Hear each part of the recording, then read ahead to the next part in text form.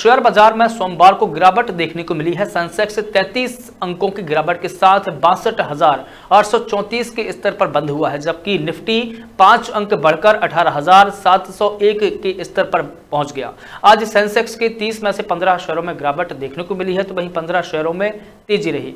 आज Apollo Hospital Reliance Tata Motors Tech Mahindra Britannia SBI Life, BPCL, doctor Reddy समेत Nifty के तेईस शहरों में गिरावट देखने को मिली है, जबकि Hindalco, Tata Steel, UPL, Coal India, ONGC, NTPS, SBI, JSW, Steel IndusInd Bank, Power Grid समेत निफ्टी के 27 शहरों में तेज़ी देखने को मिली है। तो वहीं सर्राफा बाज़ार में आज बात करें तो सोने की कीमत और चांदी की कीमतों में तेज़ी देखने को मिली है।